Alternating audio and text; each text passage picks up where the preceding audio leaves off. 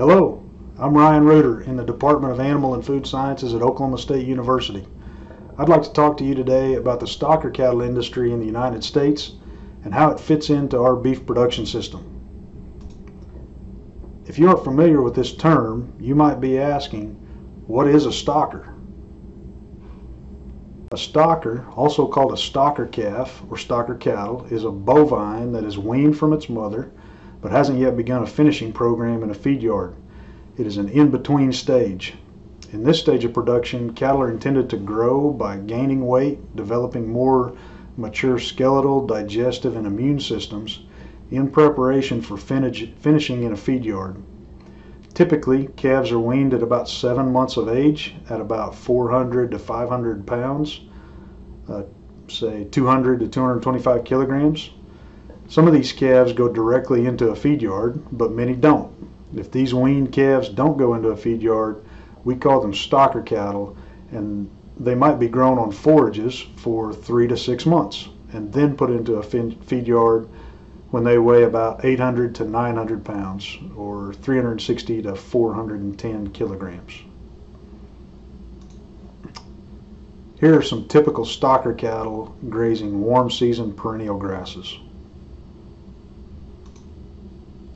These are also typical stocker cattle, this time grazing wheat pasture.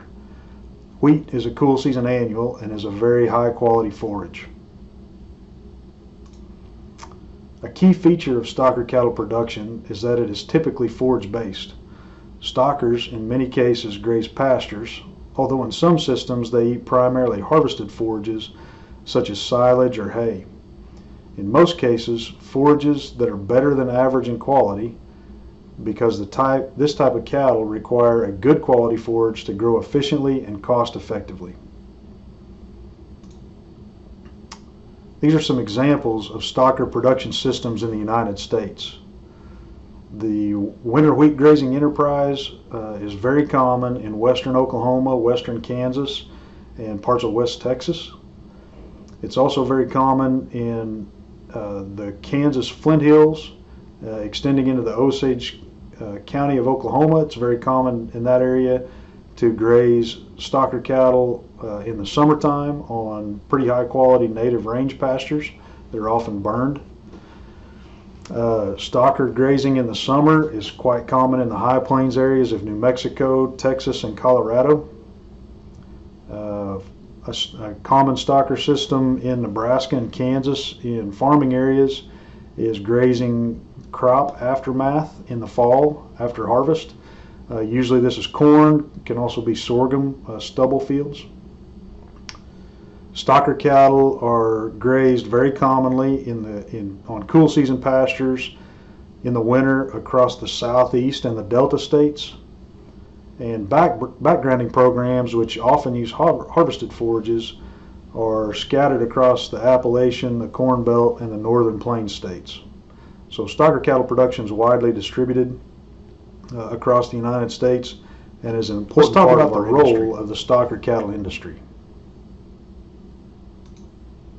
And I'd like to frame this quick discussion by asking a question. What do you think the purpose of the cow-calf industry is? Many things may come to your mind. If you're a cow-calf producer, you might think of things like the, to raise calves, or to make money or similar ideas. These are true, uh, but in the big picture, in the grand scheme of things, the purpose of the cow-calf industry could be thought of as to convert grass to human food. This is what the calves are for, and this is how we can make money. And it's really what matters to society at large.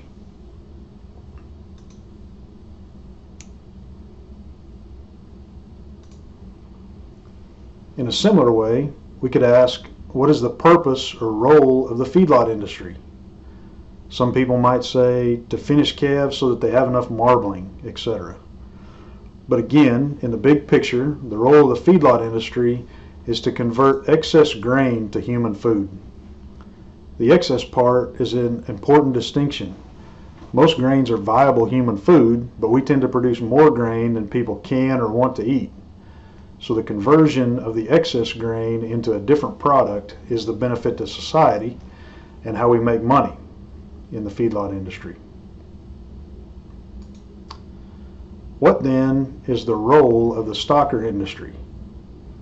Well, it's actually a little complicated, or at least multifactorial.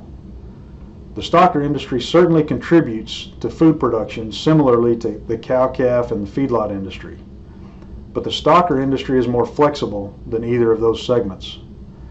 A wide range of cattle can be used uh, as stockers. Stocker programs can be as short as 60 days or as long as 200 days or more.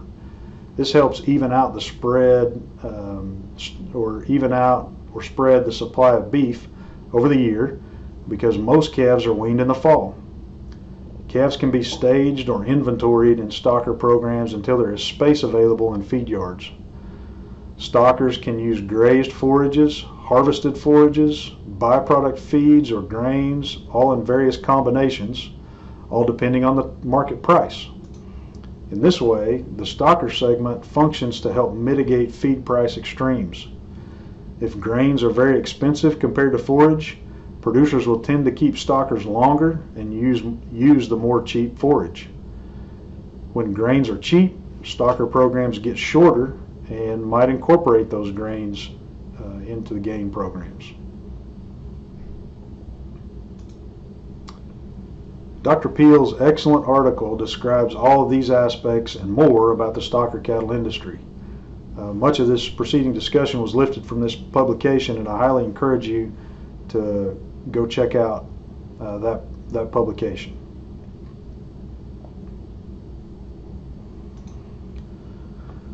Let's talk about the scope of the stocker industry. This chart shows the inventory of feeder cattle outside of feedlots. This might be the best estimate of stocker cattle we can get. You can see that over time the stocker industry is shrinking. Uh, this is directly related to the de decrease in the number of cows. But there are still about 25 million stocker cattle in the United States, not an insignificant number. Stocker cattle tend to concentrate in certain parts of the U.S. Uh, this map shows the stocker ratio, which is the number of feeder cattle outside of feedlots divided by the number of cows that calved that year. The U.S. averages about a 75% ratio, meaning that 25% of calves born in a calendar year are in a feedlot by January 1st. So most of our calf crop goes into a stocker program. Notice that Kansas and Oklahoma have stocker rates, uh, stocker ratios well above 100. This indicates that stockers are imported into these states in the winter, principally to graze wheat pasture. Iowa also imports stockers in the winter. Montana and Florida are major exporters of calves in the fall, and you can see that by the low stocker ratios in those states.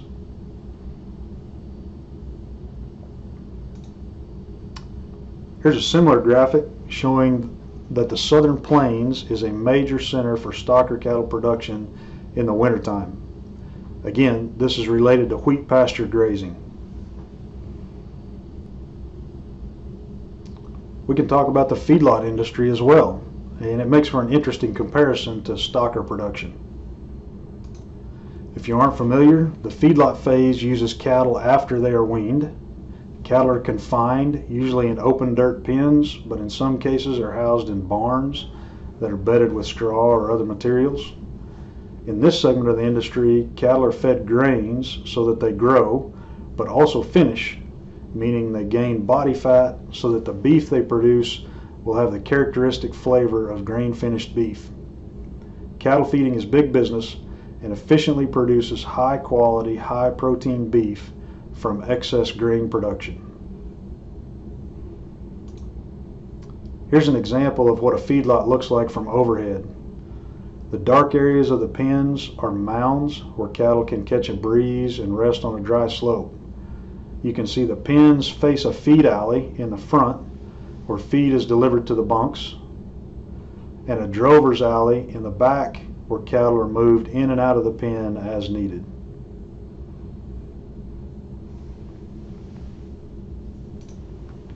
Here's a nice set of feeder cattle in a feed yard.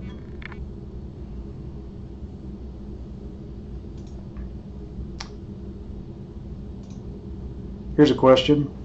How many finished cattle are slaughtered in the United States each year? The answer is about 30.6 million head of cattle, finished cattle, are slaughtered each year in the United States. That equates to about 26 billion pounds of beef production.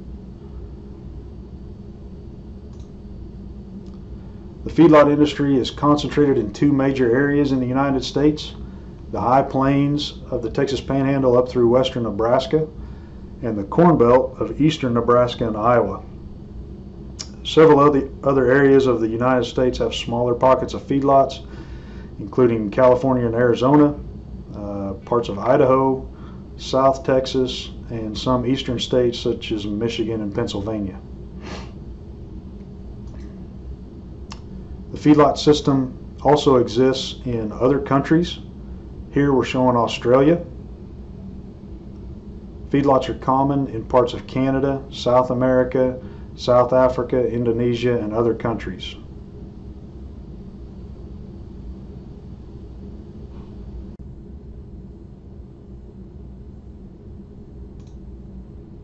This is an interesting map. Don't really want to give this group any more publicity or web hits, but they do have a pretty cool mapping function built into their website.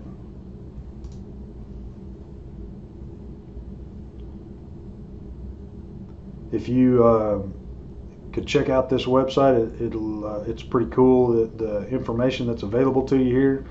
This is uh, showing you where um, confined animal production occurs, uh, where these operations are registered in the United States. Here we've got uh, all operations highlighted, but we can uh, just, for instance, just check out uh, layer hens.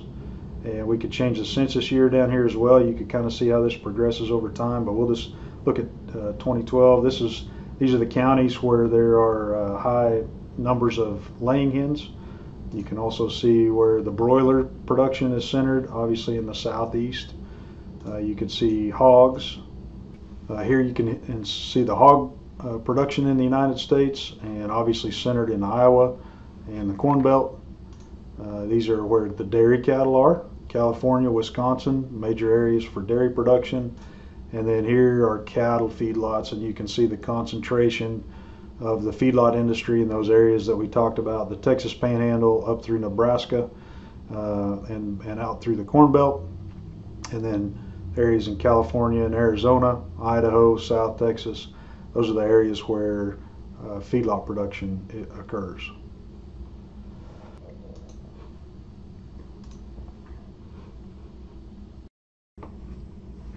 So to summarize, in this talk we've defined the stocker and feedlot industries, talked about the roles of each and why they exist. We've talked about the scope of these industries and where they're located.